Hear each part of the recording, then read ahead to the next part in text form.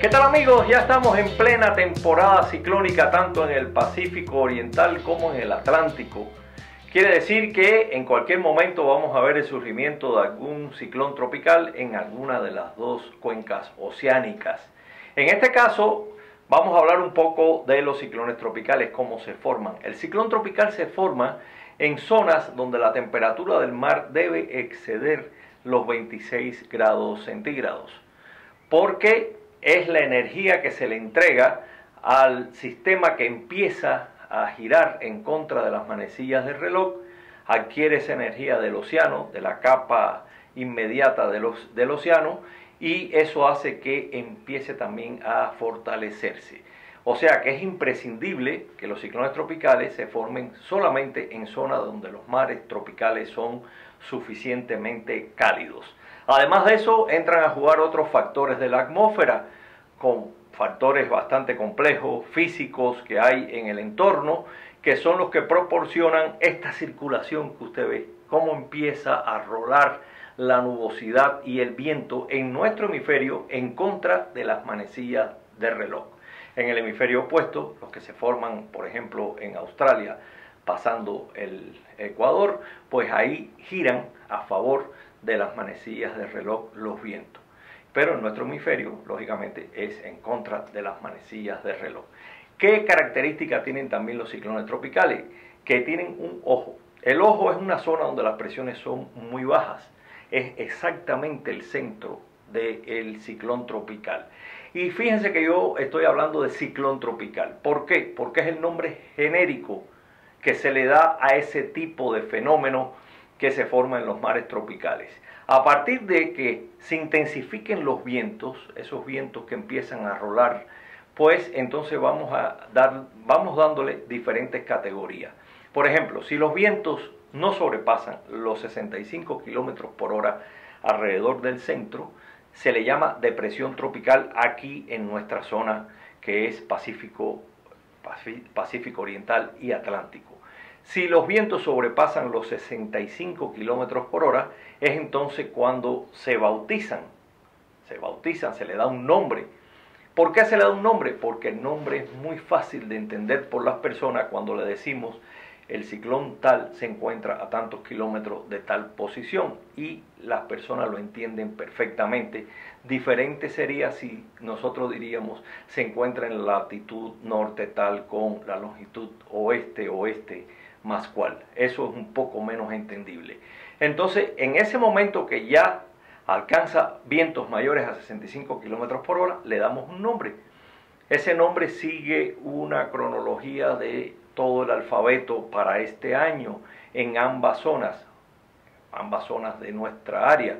Y se toma el primero que se forme a partir de la letra A, tanto en el Pacífico como en el Atlántico. Por ejemplo, el nombre del primero que surja aquí en el Pacífico Oriental sería Ágata.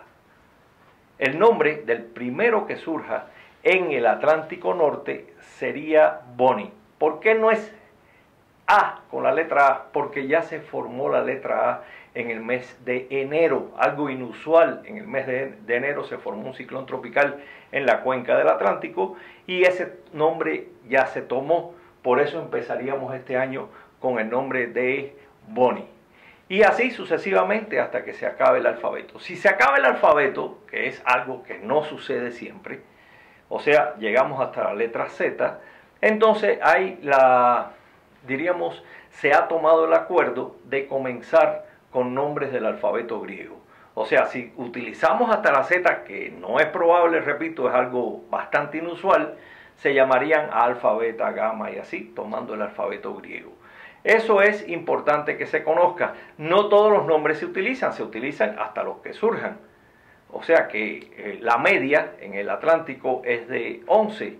Si sobrepasa la media, bueno, se siguen utilizando hasta donde lleguen. La media en el Pacífico es de 16. Si sobrepasa esa media, pues se siguen utilizando hasta que lleguen a la letra Z o pasen de la letra Z, que repito, no es muy probable. Otra cosa importante, los nombres de los ciclones tropicales no se traducen porque se utilizan nombres en las tres lenguas más eh, diríamos, las que más tenemos aquí en nuestro entorno, que es el español, el inglés y el francés. Y se intercalan nombres de hombre con nombres de mujer. Un nombre de hombre, un nombre de mujer. Y se ponen en su idioma. Las que son en inglés hay que pronunciarlas en inglés. Por ejemplo, no es Ágata, es Ágata en inglés, porque ese nombre le corresponde al inglés. El segundo del Pacífico sería Blas en español y se utiliza así tal y como lo acabo de pronunciar, pero no se traduce, porque una traducción es algo que ya no corresponde al verdadero nombre que se le dio a ese sistema. Por ejemplo, aquí se habla mucho de un famoso huracán que se llamó eh, Gilbert y aquí se le llamaba Gilberto. No se puede, es Gilbert porque su nombre era en inglés. Y en resumen de esta temporada ciclónica, bueno, como les decía, esperamos desde ya la formación del primero. Es imposible decir en este momento hacia dónde se van a dirigir los que se formen, por eso es que no se puede decir desde ahora tantos ciclones tropicales van a impactar Jalisco o algún punto de la República Mexicana. No se puede, no existe método de pronóstico alguno que nos dé a nosotros una herramienta para poder decir de los que se formen cuáles nos van a afectar. Sencillamente, Protección Civil tiene que estar atento ante cualquier sistema que se forme en una u otra cuenca. Y otra cosa importante, después que pasa a los 65 kilómetros por hora, se llama tormenta tropical. Y si alcanza la velocidad de vientos mayor de 118, es cuando le llamamos huracán. Y dentro de la categoría de huracán hay cinco subcategorías. Huracán categoría 1, 2, 3, 4, 5, dependiendo también de la fuerza de los vientos que alcance ese huracán. Por ejemplo, Patricia fue un huracán categoría 5, pasó los 250 kilómetros por hora, la velocidad de su viento llegó a 325, se le llamó categoría 5. Otros, categoría 4, por debajo de los 250 y así sucesivamente. Si pasa de los 180 kilómetros por hora, empiezan entonces las categorías más destructivas, categoría 3, 4 y 5. Eso es en resumen lo que tenemos para ustedes el día de hoy acerca de la temporada ciclónica.